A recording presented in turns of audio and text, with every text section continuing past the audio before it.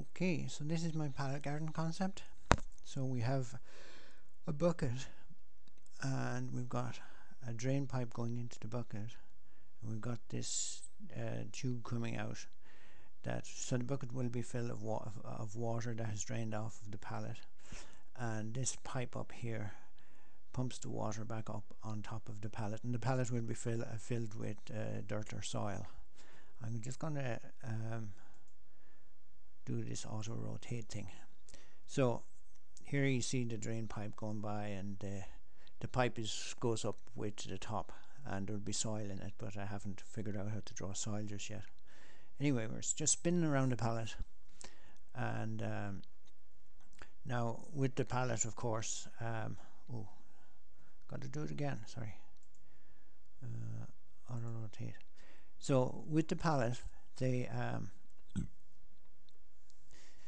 I pushed the wood close together and it, it was just with this um, program I didn't know how to put things. So the wood will be tighter together at the bottom and the water uh, has been draining down just fine inside and on the it hasn't been dripping and that's uh, something that I want to avoid.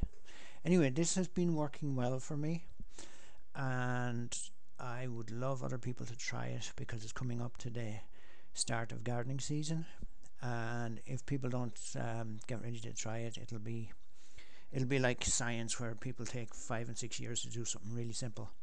And I would hope that um, you know it's a thing for we're having so many natural disasters now. Um, in in my case an earthquake could happen at any any moment. And it's good to have stuff that is a little bit off the grid or capable of being off the grid. And I see it just hasn't people haven't been preparing for natural disasters and things like this. This is integrated watering.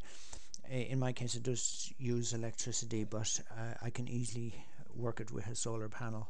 It can use rainwater so it, it's uh, not so typical of um, you know irrigation systems now. This can use filthy dirty water so um, try it, give it a go, and please pass it on to your friends because uh, it hasn't been um, it hasn't been taken up yet, and it, it really needs to be. Thank you. Bye bye.